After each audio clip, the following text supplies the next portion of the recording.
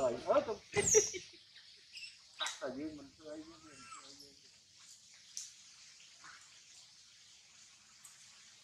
này họ to con mát khó con mà